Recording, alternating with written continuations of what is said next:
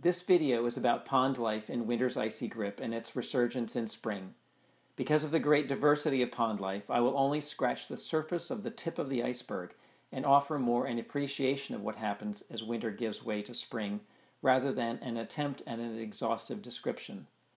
I hope you will see that many of these animals are fascinating and beautiful as well. In Maine, winter is a time when we bundle up to stay warm and enjoy the warmth from a fireplace or a hot drink. Wildlife don't have these luxuries, and pond life seemed to me to be particularly subject to the harsh environment that winter brings. If you're anything like me, you might have thought that as winter deepens, pond life would enter a dormant phase under the frozen surface, just waiting for spring to start a renewal cycle. After all, the water temperature is near freezing, and all the pond life I will be talking about is cold blooded. So, in early February, I cut a 2 by 4 foot hole in the ice of a small Maine pond to see for myself. The air temperature that morning was 20 degrees Fahrenheit, and the ice was 8 inches thick. The temperature of the water below the ice was 34 degrees Fahrenheit, which protected any aquatic life from the much colder temperature above the ice. I expected that if I were lucky, I might find a hibernating amphibian if I searched hard enough. Imagine my surprise to discover that life under the ice is actually quite active, all the way up the food chain. The first animals I encountered below the ice were swarming microinvertebrates, particularly tiny cyclops and daphnia, which serve as critical food for animals higher on the food chain. Cyclops are tiny crustaceans that generally live in slow moving or still fresh water like this pond. They primarily eat smaller organisms and plant material. This cyclops is smaller than 2 millimeters or a tenth of an inch long. Its movements alternate between slow drifting and rapid jumps propelled by its pair of long antennae, which are also used in mating. You can see the motion of the antennae as the cyclops propels itself forward in the slow motion second half of the clip. Cyclops' smaller legs are a blur of motion in the video and are used primarily to collect minute food items. You can see more details of Cyclops in the microscope image. The Cyclops has a single eye, just like the monster of Greek mythology, indicated by the upper arrow. Furthermore, she is a female, as can be seen by the sack of eggs she carries.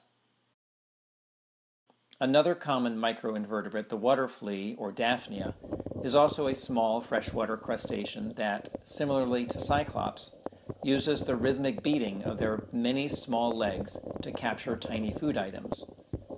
Their large antennae are used to swim in a jerky motion as seen in the video, as this Daphnia swims over the back of a salamander larva. Most Daphnia throughout the year are female, as in this microscope image, which also shows the Daphnia's antennae and single eye. This particular female is not carrying any eggs at this time, but would ordinarily carry them in her ovary under her back. In addition to the nearly microscopic Cyclops and Daphnia, there are many macroinvertebrates under the ice that are considerably larger than Cyclops and Daphnia and can range from roughly half an inch to several inches long. I will focus only on a few kinds of insect. As you can see from the next few photos of the pond bottom, there is no shortage of these insects as they rest partially camouflaged on the bottom. Each view is about a foot across, and there are red lines around each insect that I see, or about 10 to 20 per square foot of pond bottom. That's a lot of bugs. I wouldn't be surprised if I missed a few. When I first began looking under the ice, the most abundant macroinvertebrates were various species of caddisfly larvae. Caddisfly larvae are common in slow moving or still water like streams or ponds and can be found slowly crawling on submerged rocks or plants or other material under the water. You may have seen them yourself and thought they were simply a small stick or bundle of twigs or clumps of sand in the water. The larvae can often be distinguished by the types of intricate shelters they build, characteristic head colors and patterns, as well as other features. Caddisfly larvae metamorphose in the spring into adult flying insects, similar in appearance to moths and butterflies. One of my favorites is in the Phryganeidae family, from the Greek for dry sticks, which builds a 2 to 3 inch long spiraling cylindrical home out of plant material. If you look closely, you will see its striking yellow and black head emerging from one end. They were quite common and active despite a water temperature of about 34 degrees Fahrenheit. They move slowly and purposefully, as can be seen in this 10 times sped up video of a phryganeid larva and salamander larvae. Both larvae seem to have their own mission as they crawl across the pond bottom. These caddisfly larvae are omnivores, eating plant and animal material, often the form of organic matter or detritus that accumulates on the bottom of the pond. This short video shows a phryganeid larva foraging in the mud of the pond bottom. Well, foraging or just having a blast romping through the mud. Some phryganeids use small twigs or plant parts to build homes which look like tiny crude brooms. On the left of the photo, you can see the larva's yellow and black head peering out of its tube home. Other caddisfly larvae build bristly, twiggy log cabins. Notice the difference in head coloration and patterning of this larva. Rather than the striking yellow and black, it sports a much less gaudy brown head with dark spots. Caddisfly larvae are very adept on nearly any surface and can be found as they leisurely crawl, foraging on the pond bottom, along underwater plants,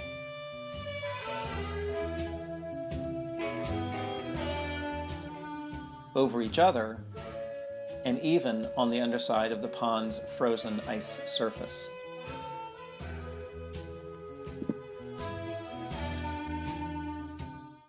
Remarkably, some caddisfly larvae can survive being frozen in ice, as with this larva I found and slowly thawed. First, you see a photo of the larva still embedded in ice. Following this is a clip of the thawed larva. I like to think it's waving with gratitude at being freed from its frozen confines. In addition to foraging on the bottom for food, caddisfly larvae can be aggressive predators and can be seen here preying upon wood frog eggs just one of the many reasons I'm glad I'm not a frog living in a pond, and even on other caddisfly larvae. In the first clip, a limnephilid larva has grabbed onto the end of a phryganeid larva's tube house. In the second clip, three phryganeid larvae are wrestling together. I can't be sure what they're doing, but it doesn't look like a reunion of long lost friends. Other common macroinvertebrates under the ice include the similar bugs, water boatmen, and backswimmers, which can be comparably sized at about a half an inch in length. The quickest way to tell which is which is whether it is swimming on its back. If yes, it's generally a backswimmer. Otherwise, it's probably a water boatman. Also, if you're able to get a good look at their undersides, the water boatman's rear two pairs of legs are large and used for swimming, while only the backswimmer's single rear pair of legs is enlarged. Unlike the water boatmen, which generally eat only plant material, backswimmers are carnivores and eat other small animals in the pond, and can apparently deliver a painful bite to a person who is not careful with them. So far, I've avoided that fate.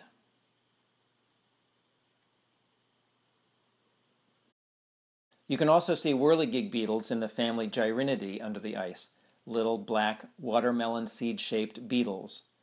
Perhaps you've been entranced by them as they scurry haphazardly on the water surface in the summer, but under the ice they swim more slowly or crawl on the underside of the ice as they scavenge food or prey upon other pond life. And I particularly like the bristly mustache this one is sporting.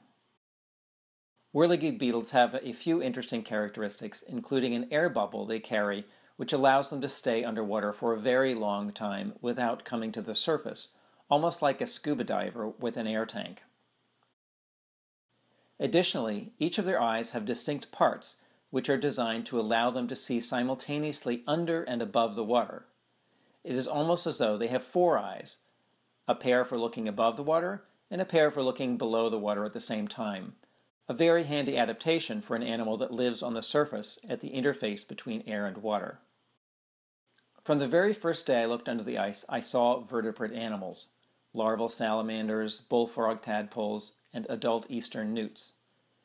They were much less common than the invertebrates, but were still regular visitors.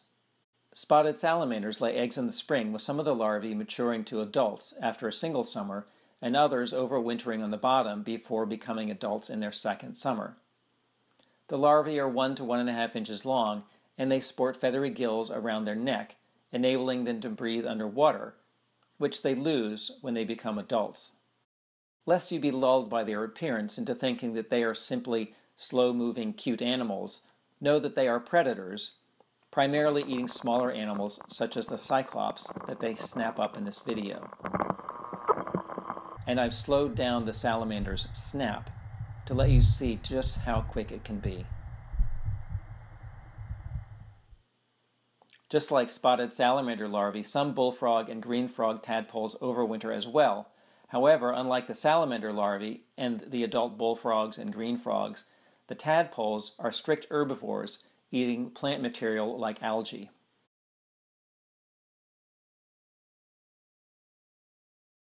One of the first vertebrates I saw under the ice was an adult eastern newt on February 10th.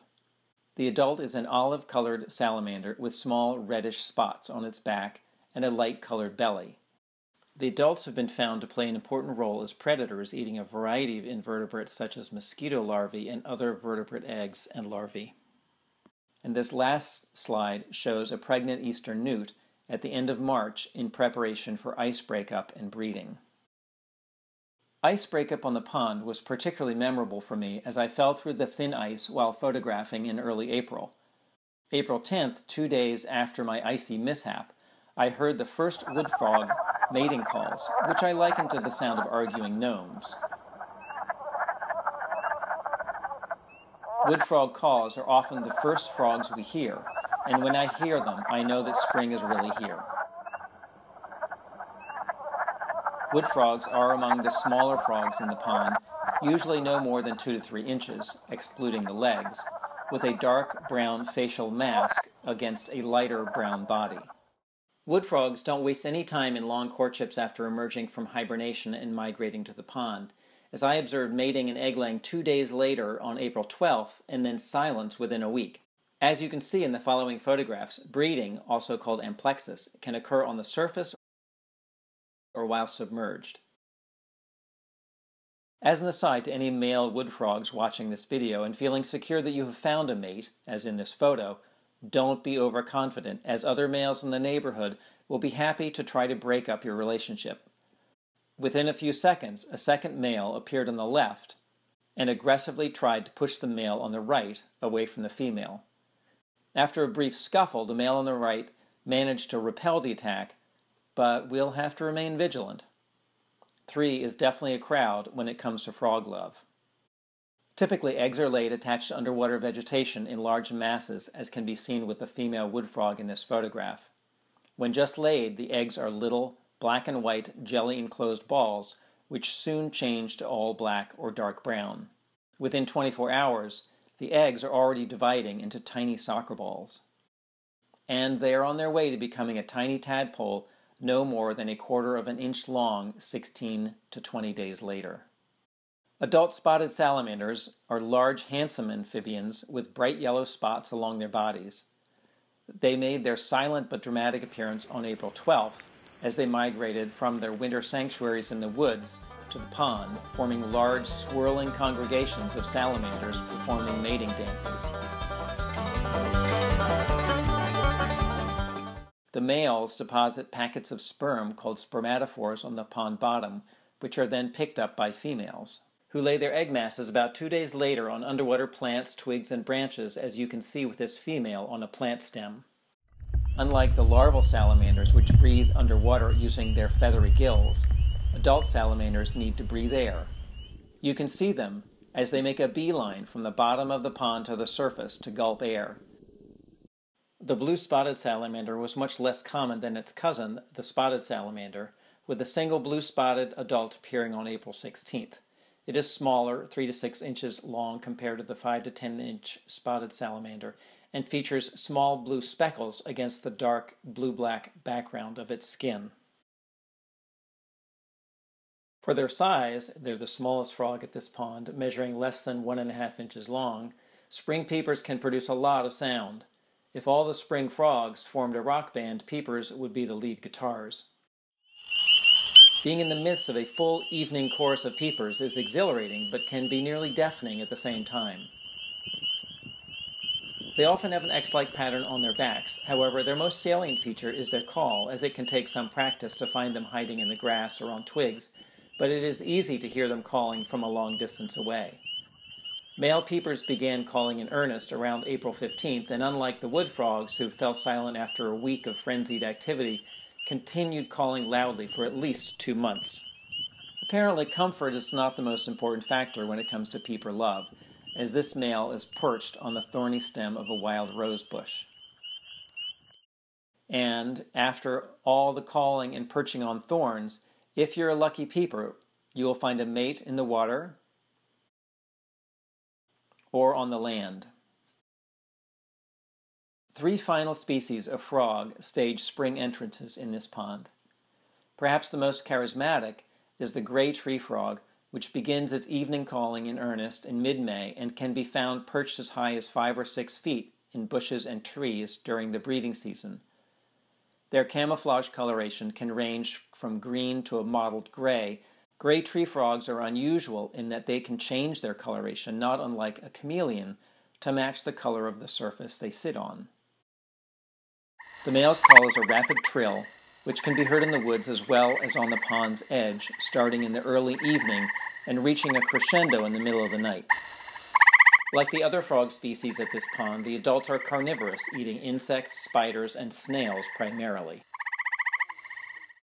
The call of the green frog has been likened to the sound of a plucked banjo string, and you can hear its call in this video with a background of chorusing gray tree frog trills.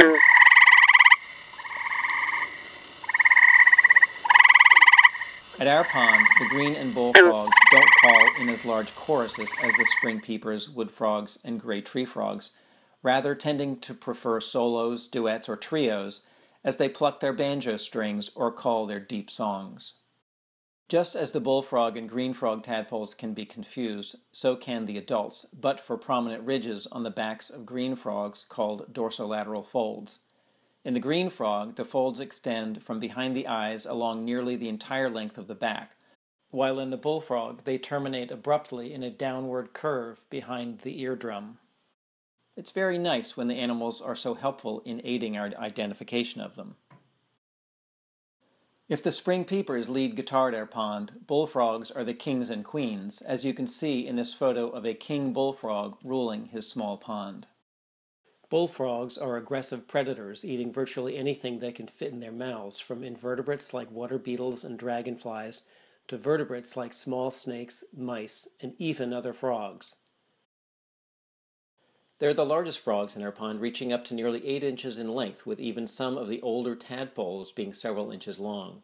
Their call is a deep, resonant baritone, which can be heard from a long distance as the males stake out their territory.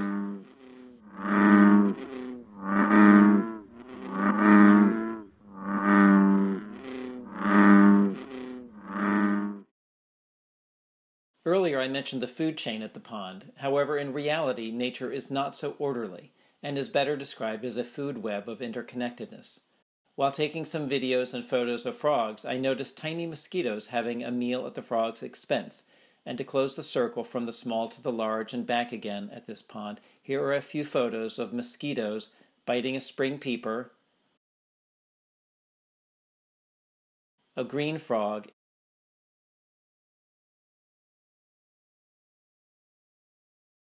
and yes, even the king of our pond, a bullfrog. Well, I hope you enjoyed the video, and I hope even more that it will spark interest in and desire to explore the amazing world around us. This was just shot at a pond in our backyard, and offers only a tiny glimpse of the wonder around us that may be just around the corner on a log, up a tree, or under the ice.